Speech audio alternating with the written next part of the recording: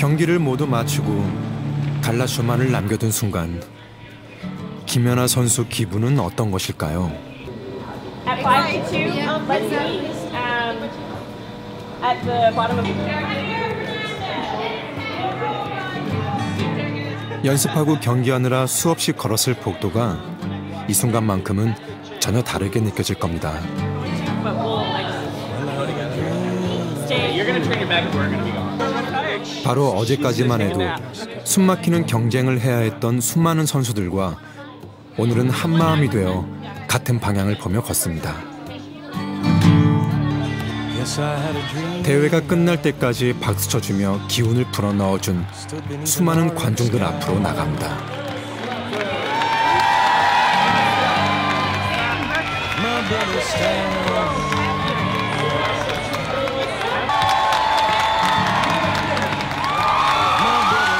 금메달을 땄으면서도 연하 선수는 생각이 많아 보입니다. 경기에서의 부담감을 모두 벗고 가장 편안한 마음으로 움직이기 시작합니다.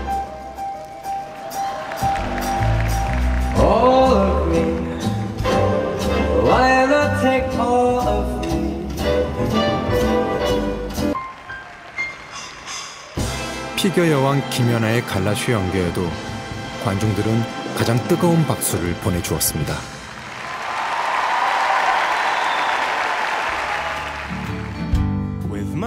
이번 다큐 제작팀은 김연아 선수가 지나온 시간들을 모아 책으로 만들어 선물해 주었습니다.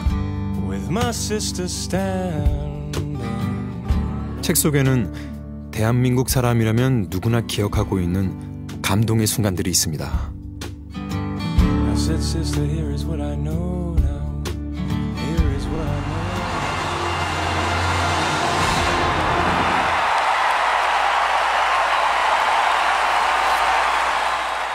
전 세계 사람들의 주목을 받으며 연기를 마친 순간 스스로도 감정이 북받쳐 올라왔습니다.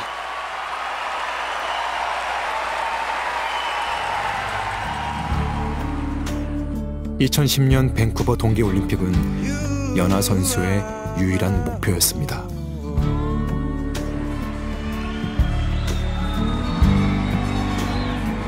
살아온 인생에서 유일한 목표를 이루고 더 이상 바랄 게 없다고도 생각했습니다.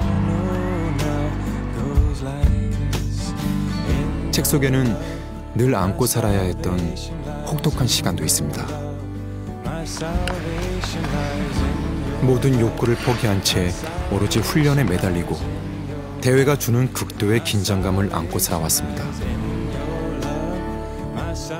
금메달을 따고 그만할 것도 생각했지만 그러나 김연아 선수는 또 한 번 도전하기로 했습니다.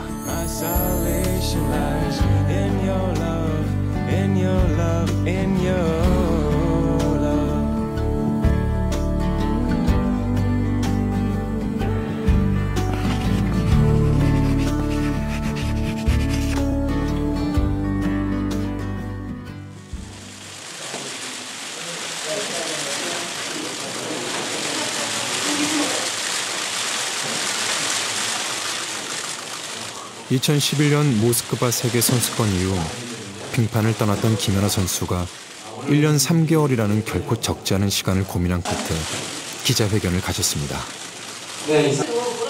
은퇴 시기에 대한 세상의 질문에 연하 선수가 입을 열었습니다. 저는 이제 밴쿠버 올림픽 금메달 선수가 아닌 대한민국 피겨스케이팅 국가대표 김연아로 퇴출하도록 하겠습니다.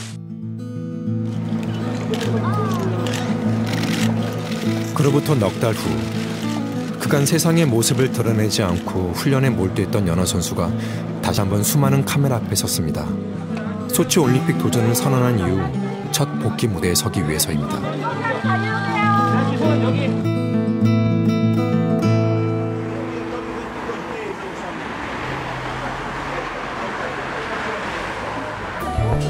(20개월이라는) 긴 공백 이후 연하 선수가 서게 될 무대는 NRW 트로피였습니다.